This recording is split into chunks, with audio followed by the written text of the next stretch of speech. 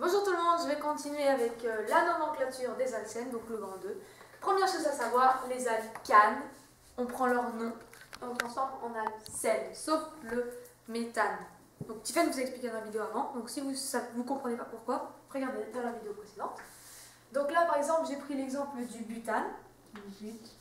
Avant il s'appelait butane. Pour la raison que Tiffany a expliqué, donc il y a une double liaison, il devient butène. Voilà. Ensuite, donc la double liaison, justement, comment est-ce que dans la formule, comment est-ce qu'on la nomme? Donc est-ce que c'est dans la position 1, 2, 3, 4 C'est pour bien savoir, c'est juste ça que je vais vous expliquer là. Donc là, CH, CH. On peut le compter dans ce sens-là, parce que c'est plus petit numéro. 1, 2, 3. Donc là, je me retrouve avec le choix, est-ce que je le mets en 2 ou en 3 Alors comme c'est le plus petit numéro, eh ben c'est le 2. Donc le 3, il est pas bon. Donc voilà. Ensuite, le pente de Z. Alors là, on va mettre ce qu'on vient d'expliquer avant en pratique. Première étape, pente. Pente, si on ne se souvient pas, on regarde, c'est 5 carbone. 1, 2, 3, 4 et 5. Ensuite, on regarde N, donc il y a une double liaison, en position 2. 1, 2. Hop. On continue, il faut mettre les H.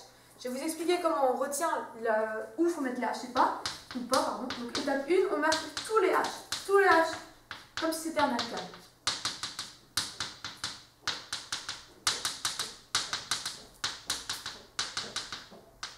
Là, si vous comptez, il y a deux H en trop. Alors, qu'est-ce qu'il faut faire? Regardez, là, il y a le égal. Donc, il faut enlever un H de chaque côté du égal. C'est tout.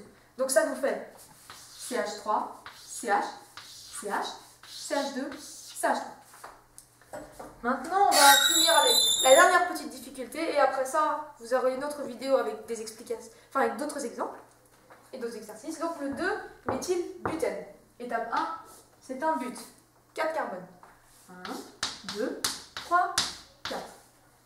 Il y a un N à la fin, donc il y a un égal quelque part. Mais c'est pas marqué là, regardez là entre les deux, il n'y a rien de marqué. Ça veut dire qu'il est en position 1. Hop, ici. On continue avec méthyle Méthyle, ça veut dire quoi? On l'a vu.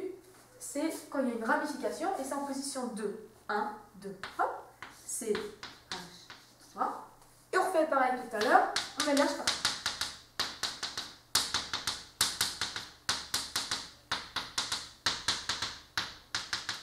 Ensuite, de chaque côté du égal, on en supprime un. Et là, on vérifie pour savoir si c'est vraiment 100% dans le test, il faut bien vérifier. Donc, carbone, 4 liaisons maximum. 4. Donc, 1, 2, 3, 4. Là, nouveau carbone, 1, 2, 3, 4. Et le reste, carbone, 1, 2, 3, 4. Et carbone, 1, 2, 3, 4. Donc c'est bon, on a réussi à résoudre bah, tout, ça. Si vous avez encore euh, des doutes sur vos capacités à faire ce genre d'exercice, bah, on vous fait une vidéo avec des exercices en plus. A plus